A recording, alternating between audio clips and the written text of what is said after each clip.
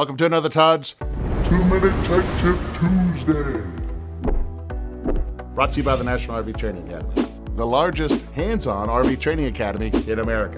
Hey, have you heard that the NRVTA and the RVTAA are teaming up with Camp FIMFO out of Waco, Texas, in order to host an RV rally? We will provide you RV campers with discounted rates on RV maintenance, discounted rates on RV sites, and free education on topics such as RV solar, RV winterization, and of course, RV propane systems. So come join us November 10th through 12th in order to relax, gain some knowledge, and get some of those items checked off your maintenance to do list on your RV. So click the link below to get some more information and go ahead and sign up. Hey, before we get to the video, which I know this is the reason why you're here, go ahead and hit the subscribe button. That way you don't miss anything.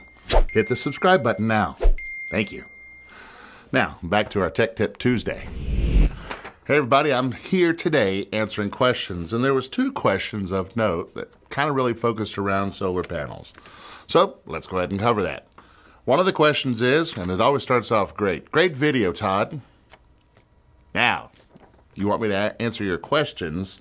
That's a good way to start now. Great video, right? All right, here we go. I got one on here uh, that says uh, great information, and this is on solar. The question is, is if you cover your roof with solar panels, you know, how do you inspect, you know, the roof, and how do you seal and reseal um, your roof? So let's go ahead and cover that. Now, first and foremost, I know a lot of people don't like the thought of putting solar panels on the roof, which is kind of funny because I, I get what they're saying is I don't want holes in my roof.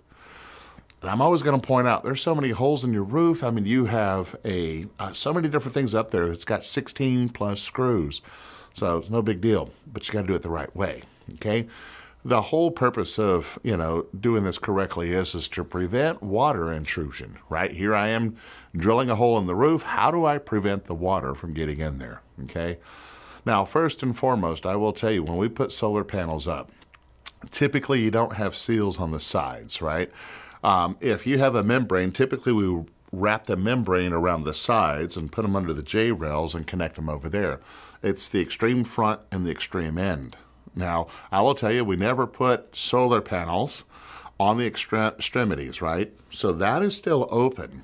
So to quickly answer, how do you check your seals when the solar panels are up there? And that is, you don't put solar panels any place where there's seals unless you're floating over it. Boom, you can still get up there meticulously and slowly check all your seals. Now, what's the proper way of putting those up there? It's really no secret, right? If you were to take off, say, um, your um, solar light up there, whatever it may be that's up there, I call it a solar light. The ones that's in the shower where they, they give you the roof too small so you're looking out seeing your neighbors while you're standing there naked taking a shower. All right, so here's the thing. When we cut a hole in the roof, here's how we make sure Here's how we make sure we don't get any water in there. First and foremost, we, we pre-measure everything and then we pre-drill. If I know where my feet are going to go, I'm going to pre-drill the hole. Now, I've got a hole that goes through that membrane, whatever it may be. EPDM, TPO, fiberglass, uh, PVC, um, whatever there may be. There's a hole. Right? I measured everything, there's a hole. I'm also going to put some caulk in that hole because when I drive the screw in there, I want the screw to catch that caulk and go in there. Now, before I put anything down, before I put the screw and everything else, I've pre-measured my foot. Underneath my foot, I'm going to put butyl tape. And I'm to put butyl tape specifically where the holes for my screws are going to go in the foot.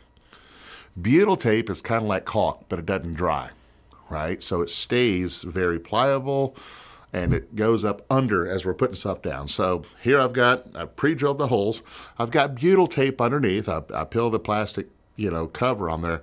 Then I set that down. I've already put some caulk in the hole. So now I take my screw and I drive into the hole, through the butyl tape, into the caulk-laden hole. All right, say that three times fast. Caulk-laden hole. All right. Now I've got the screw head on top. Okay. I also have a potential of water getting under the foot. So what I'm going to do is I'm to do everything I can to seal around the foot with some caulk. Okay. If there's a solar panel, somebody say, how do you do that? Okay. You don't have to put the tube behind there. You can put your silicone, whatever it is, okay, if it's going to be a rubber membrane, can't put silicone, but you can put your caulk, say Dicor or whatever there is, on a stick, you know, on your finger, and you're going to seal that foot in all the way around. Still not done. You still have the screw head. So now you're going to seal around that. Okay? Basically, with the caulk, with the butyl tape, and the proper way of uh, pre drilling, you're making sure that there's absolutely no hole. Okay? There's no chance for water intrusion. It's relatively simple once you understand that. It just takes a little bit of time to do that. So now let's come back and inspect it. Typically, the feet are just beyond the periphery of the solar panel.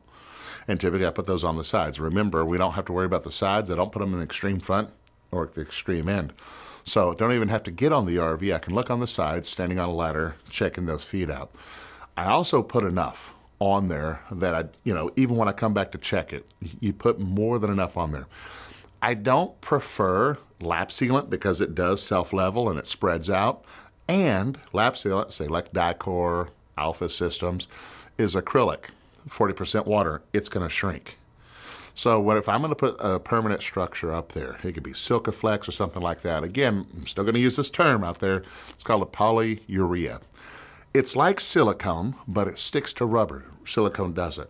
And it's nearly 100% solid. It's got a high value of solids. Well, what does that mean? Doesn't shrink. So whatever I put it out there, if I put this much of a strip on there, chances are I'm to have this much of a strip, maybe ever so slightly less in a few years. If I use an acrylic based substance, say like with Dicor, I put this much on there and I come back in a year, I only got this much. Come back in two years, I only got this much. So I got to reseal it.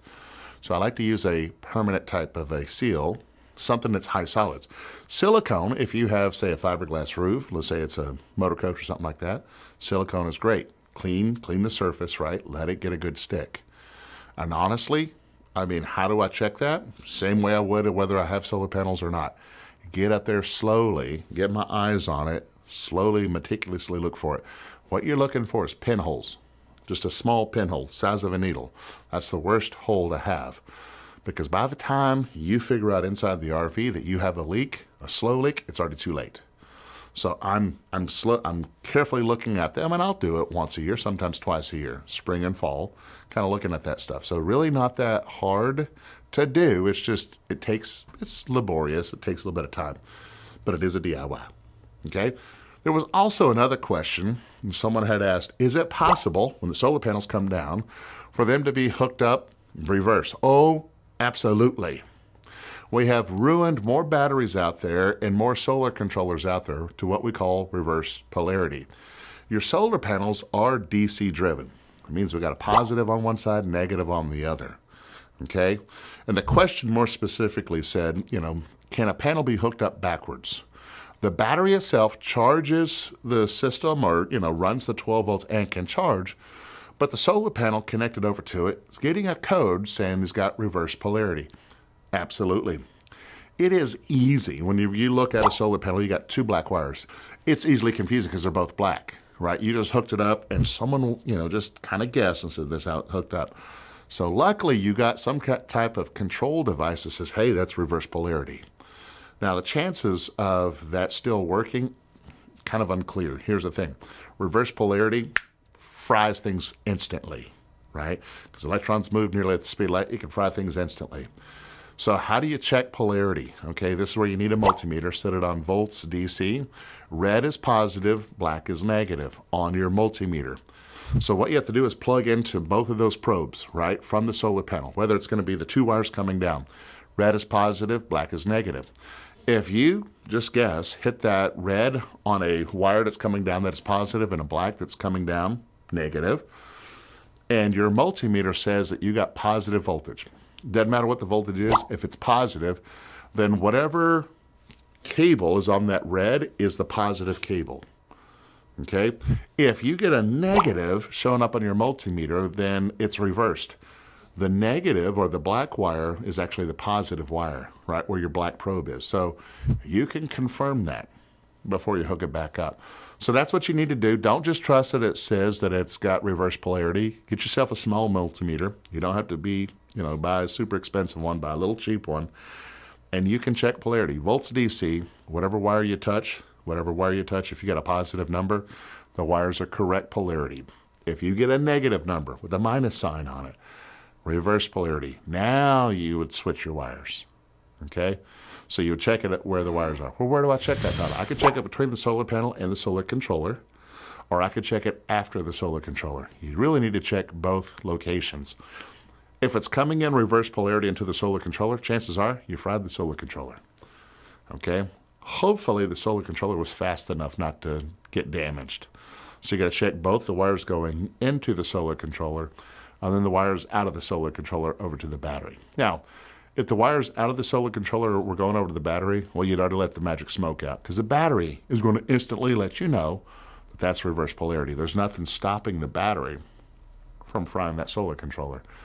So if your system is saying reverse polarity, chances are from the solar panel, those wires to the solar controller, those are the ones you need to check. There's your tech tip. All right, before you get to the bloopers, which is why you're here in the first place, the RV industry needs thousands of RV technicians and inspectors, and now is the perfect time to do that. If you want to make more money or have more control over your time, go ahead and click the link below. Or if you just want to learn how to fix your own RV, got something for you there. Head over to rvtechcourse.com and get started today. Now for the reason that you're at the end of the video. Roll the bloopers. All right, did we do a mic check? Yes. When? You didn't have your ears on. Check one, check, check. Some of you call it, what is that thing called anyway? Sunroof? Sun, no, it's not sunroof. Man, this ain't some convertible. What do they call those things? I don't know. Right? Is Totally gone. It's a dome. Whatever, right? All right, say that three times fast. Cock laden hole. It's easily confusable, right? Now, here, confusable. Is that a word? It's easily confusing. Ask a tech to speak grammar. The other way to answer my questions is I'm a useless keyboard warrior. And I'm going to point something out and say that you're wrong, and then I can have the whole world know that I was wrong and I, me, was personally right. I could take either way. Bam!